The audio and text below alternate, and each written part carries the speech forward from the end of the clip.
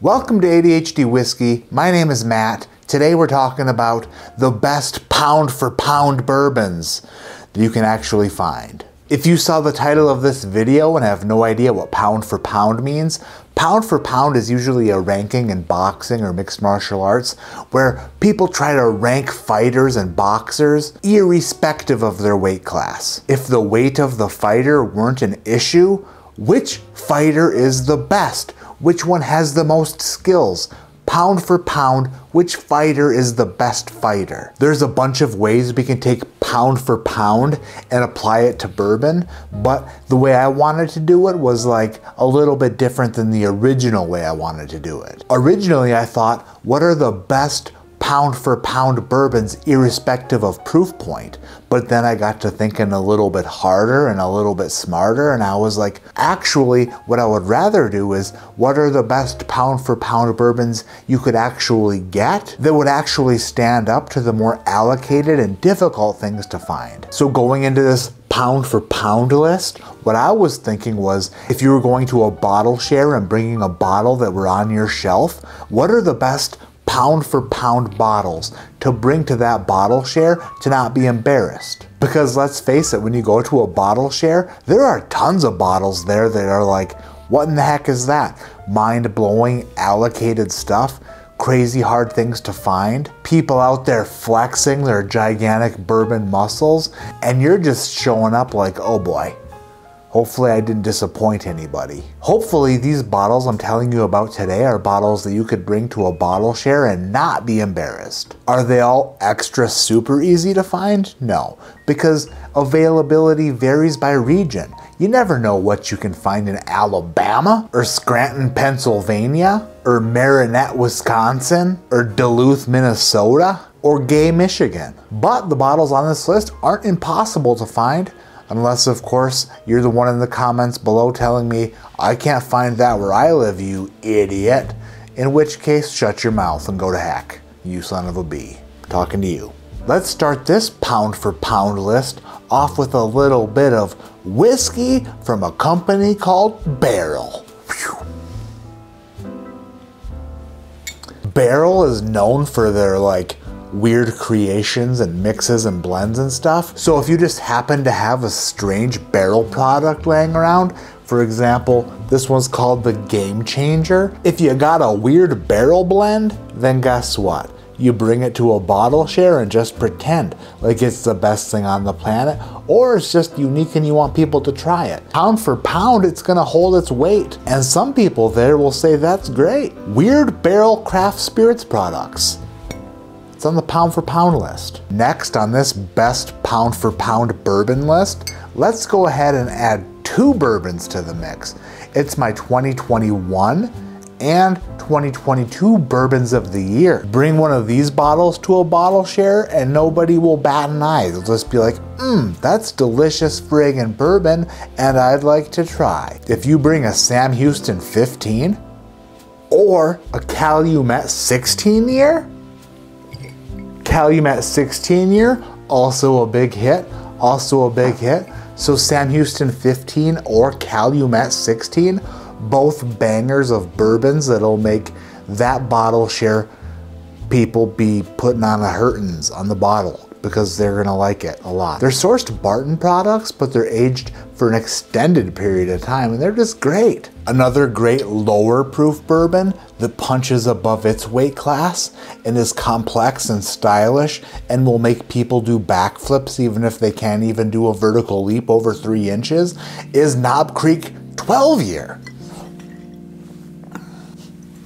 Knob Creek 12 year is a glorious product from Jim Beam. It's 100 proof, it's 12 years old, and it does all the things that bourbon drinkers would want a great bourbon to do. It's complex, it's viscous, it's sweet. It does funny tricks in your mouth, like guess what's in this hand? Nothing. Fooled ya, you son of a bitch. But in this hand, I've got your wallet because you weren't paying attention, you idiot. Knob Creek 12 year definitely on the pound for pound bourbon list to bring to a bottle share. Another 100 proof bourbon that's on this pound for pound list is a single barrel from Lux Row Distilleries. It's 10 years old, minimum, and it's a wheated product. It's Rebel friggin' 10 year.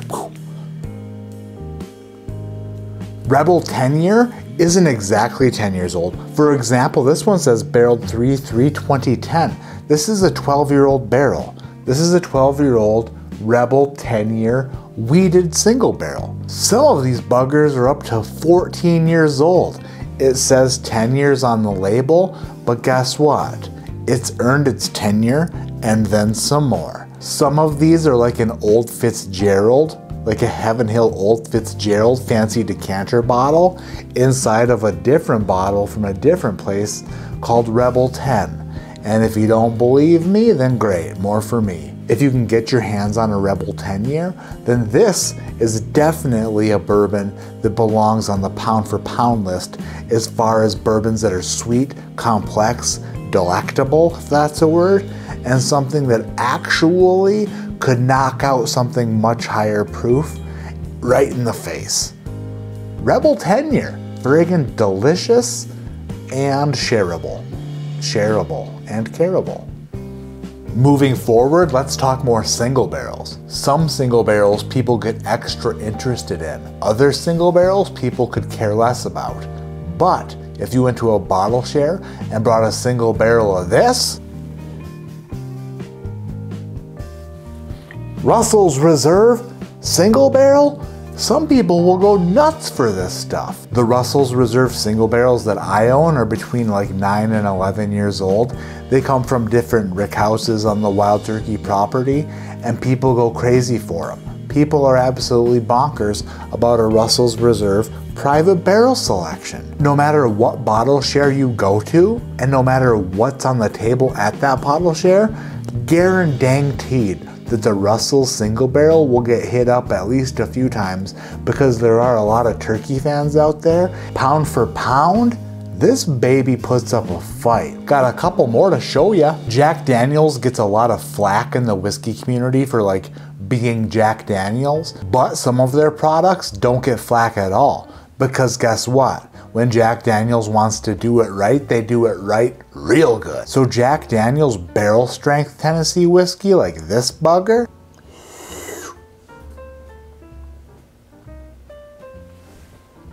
Jack Daniels barrel strength Tennessee whiskey is just a glorious pour. It's extra sweet and extra fruity. It's extra high proof and extra like, I don't know, interesting. It's super interesting. And even though these babies ring in at 130 proof plus, it's totally okay to put them on the pound for pound list because when you can get them, you can get them. And when you can share them, you share them. And the people you share them with are like, dang, bro, thank you for sharing. Some of these are better than others, but I've yet to have a bad one. Friggin' Friday the 13th barrel. ADHD Whiskey Jack Daniels pick. Coming soon to Patreon. And that brings us to possibly, probably our number one top pound for pound bourbon you could possibly bring to a bottle share right now that is semi available and semi gettable. They're not super extra easy to find, but you can find them. You just have to be on the lookout and you have to know where to look. Like the Sam Houston 15 and Calumet 16 I talked about earlier, these whiskeys are also sourced from Barton, but they're not limited to a lower proof. These babies come in at barrel strength and they're single barrels. If you get lucky, you'll get an extra high proof one.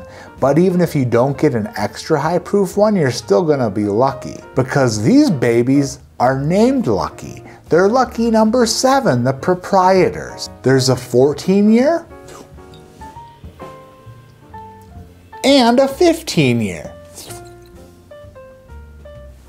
and they're both awesome. Some of them are really, really good, and some of them are friggin' spectacular. But if you bring a proprietor from Lucky 7, a 14 or 15 year to a bottle share, it will make people go, ooh, I need to try that.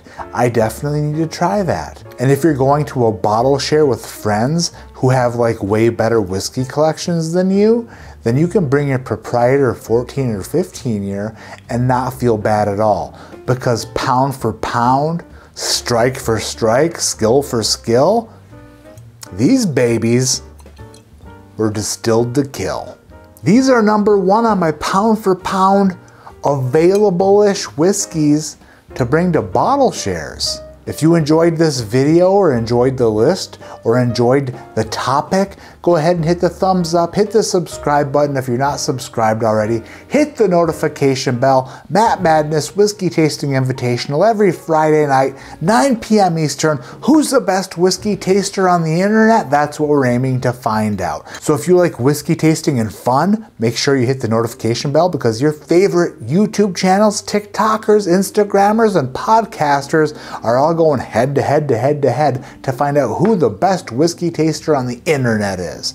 And that's only here on ADHD Whiskey, Friday nights, 9 p.m. Leave a comment below. Let me know what did I miss? What would you put on your pound for pound list for available ish bourbons to bring to a bottle share? What holds their weight? What will hold their own? What could you bring to a bottle share and not feel embarrassed about? My name is Matt. This is ADHD Whiskey, and like I always say,